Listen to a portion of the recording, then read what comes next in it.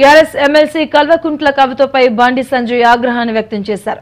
కవితని arrest చేసేస్తారని రాష్ట్రంలో మహిళలు కళల్లోంచి నిప్పులు కురిపించాలా అని ప్రశ్నించారు. రాష్ట్రంలో అత్యాచారాలు దోపిడీలు హత్యలు జరుగుతూ ఉంటే మీ కళల్లోంచి నిప్పులు ఎందుకు రాలేదు అని ప్రశ్నించారు. కేసీఆర్ కుటుంబానికి మానవ హక్కులపై మాట్లాడే నైతిక హక్కు లేదని బండి సంజయ్ స్పష్టం చేశారు. మానవ హక్కులను కళ రాస్తోంది. మీరే అంటూ కవితపై ధ్వజమెత్తారు. ఆ ఫ్లెక్సీలు ఏంది? ఆ ముంగట ఆ వంద మందో రెండు వందల మందో ఆ కార్యకర్తల సమీకరణ ఏంది? మేము అడ్డుకుంటామనడం ఏంది? ఈ సింహాల ఫోటోలు ఏంది? పుల్ల ఫోటోలు ఏంది? సాక్ష్య కదా. రాజకీయంగా ఎదుర్కోలేక నువ్వు ఎదుర్కోలేకపోతున్నావు భారతీయ జనతా పార్టీని. మమ్మల్ని మీటింగ్ పెట్టనిస్తలేవు. మమ్మల్ని ప్రశ్నిస్తుంది ప్రశ్నిస్తలేవు ఇవ్వకుండా ఆపుతున్నావు. మా యాత్రలు చేయకుండా ఆపుతున్నావు. నీకు భయపడుకునే భారతీయ జనతా పార్టీ భయపడుకునేది తెలంగాణ రాష్ట్రంలో. మునుగోడు ఎన్నికల తర్వాత ఇంకా భయం పడుకునేది నీకు.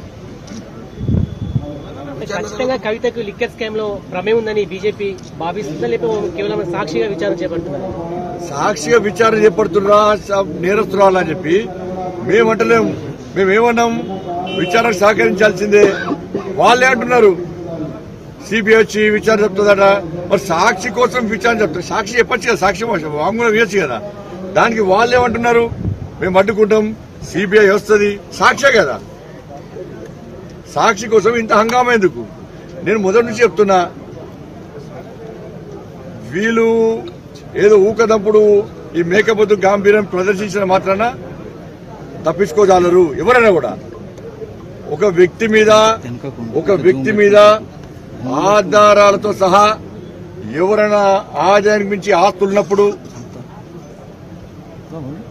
ఇతర దొంగ దందాలు లంగ దందాలు చేసినప్పుడు పేదలను హరిగోసం పెట్టుకున్నప్పుడు పేదలను ముంచినప్పుడు వాటి మీద ఆధారాలతో సహా ఫిర్యాదు వచ్చినప్పుడు వాటి మీద విచారణ జరపాల్సిన బాధ్యత సంబంధిత సంస్థల మీద ఉంటుంది.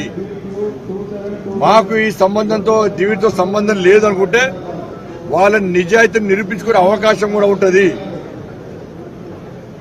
ఆ దిశగా ఆలోచించాలి. సిబిఐ వస్తుందంటే సిబిఐ ఒకరంటే సిబిఐ ఇడికి వస్తుందంటే సిబిఐ ఇంట్లో కూడా వస్తుంది. సిబిఐ దేశంలో ఎక్కడ ఏ రాష్ట్రంలో ఏం జరిగినా సిబిఐ పోయి విచారణ చెప్తుంది ఈ దేశంలో ఈ తెలంగాణ రాష్ట్రం కూడా ఈ దేశంలో అంతర్భాగం అన్న విషయాన్ని ఈ మూర్ఖులు గుర్తుంచుకోవాలి ఫస్ట్. నేను నేను చెప్పిన ఈ పుల్ల ఫోటోలు ఏంది సింహాల ఫోటోలు